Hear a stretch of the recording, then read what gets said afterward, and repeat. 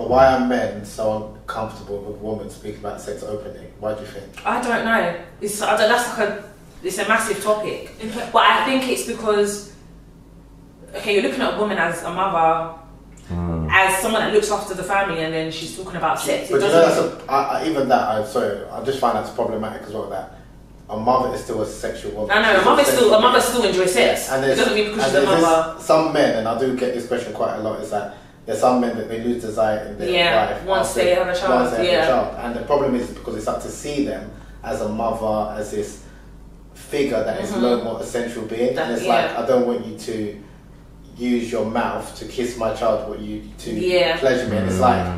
Why are you making out as if A mother can't a be couple of months, yeah. sexual. Whereas you yeah. could be a multifaceted person. You could be a father. You could be You could an be, employer, yeah. or you could be an employee. You Mhm. could also be a sexual deviant if you wanted to be. Mm. Or you could be pleasure someone in the bedroom. But the woman, she can only be a mother or someone that's Yeah, she can't- she can't that- that's a problem. I think. like sexually liberated. She can't do the things she was doing before she had a child. And no, that's actually like a good. I don't know. Yeah, that's. And I think a lot of it, It is I, interesting. I think a lot of it is, is, is how men we view women. Yeah. Like it's, we put them in boxes kind of thing. And even the concept of being sexually liberated, my issue with the, is, I think it's been hijacked now. So like a woman can be sexually liberated and be celibate.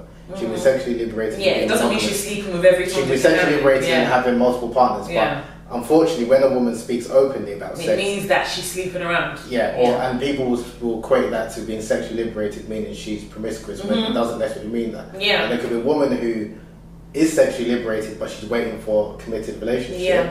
But because how we view sexual liberation is that oh, she must be promiscuous. So a lot of it, I think we do need to challenge Yeah. our understanding about female sexuality Mhm. and like not put women in boxes kind of thing. Yeah. So what do you feel about WAP? Whereas I love pussy, no, but on, on the younger generation. Yeah. Um, for me personally, I don't think it's that serious because when people do say these things, I'm thinking, what are you expecting the kids to grow up and do? Anyways, they're gonna grow up and be sexual beings regardless. This is what humans are kind of put on the earth to do, anyways, to have sex and reproduce. So it's like they're saying that if you don't they don't see this kind of content then for some reason they're not gonna have sex or i don't know what I, I think Yeah. some people's reservation with the song is that like there's some lyrics that were kind of like saying it along the lines of in order to get a tuition fee, I slept with someone or something like that. Oh, okay, I get So what it's you're like saying. using sex in exchange Oh, for okay, services. okay, okay, And I think okay. that's what people have a problem with. Yeah, it's yeah. like, okay, if you're openly speaking about sex and like what Elise was saying, these are like considered to be role models, then Mm, a lot of mm. young children will aspire And to then be I that. think it desensitizes children towards sex. I feel Yeah. like even losing your virginity Yeah, is something you should do when you're ready, when you understand what sex is. yeah. When you talk about sex so freely, it makes them think, oh, it's just another day, like just go and have sex. And it shouldn't be like that. It should still be like a special, like something special to a child.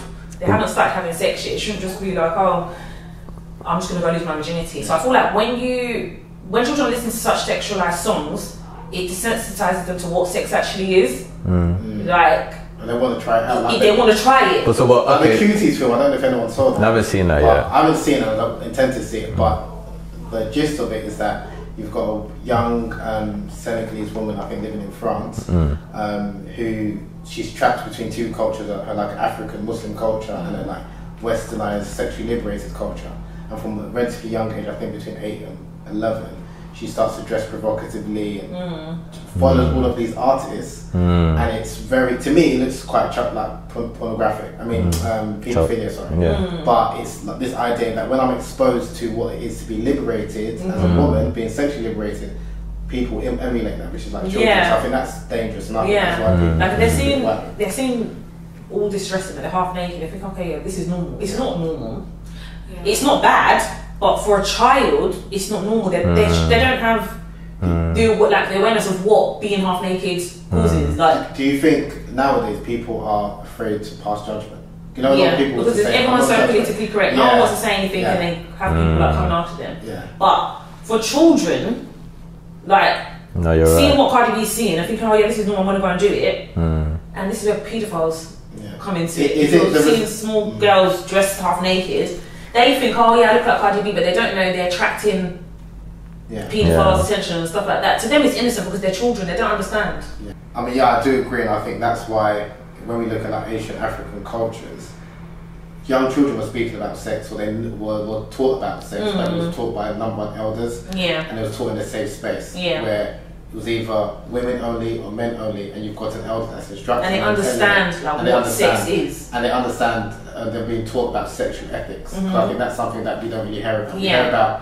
the act, we hear about sexual pleasure, but we don't But how to conduct sexual- yourself. how to conduct Yeah. yourself, and again, knowing what's right for you. And I think that's Mm-hmm. probably missing in like Western cultures, you know, depiction about sex. We don't really have that Yeah. sexual ethics, and we don't really have that sexual consent. Yeah. well, kind of thing. So Yeah, that's I think yeah. you definitely need. Um, like, I think the Asian African model is definitely better than the Western one because you've got experienced older people that's putting you up on game. But then don't you, that's missing in the current Yeah. African, like, normal, normal African household now. They'll just say you don't have sex. Because that's we've, it. We've, we've adopted The Western model. Yeah. We've adopted like we leave it to the schools.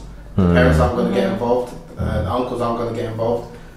You go and learn about sex in school, and then when you get to a certain age of maybe 24, 25, where's your wife? Where's your husband? Yeah. Hmm. Yeah. You're saying about you don't know what sex is, so And it's, Uh, it's uh, back okay, to that with what your you as experience, well. do you know what sex is now? Yeah, as an adult, of course I do, but it took years of. So what way is it for you? I feel like it's a special connection between someone you have. It's not just. It's a it's a physical action, but it's also an emotional one. And I feel like children don't understand it. They just see sex, dick goes inside, and that's it. So- They don't Yeah. know what emotions you feel after.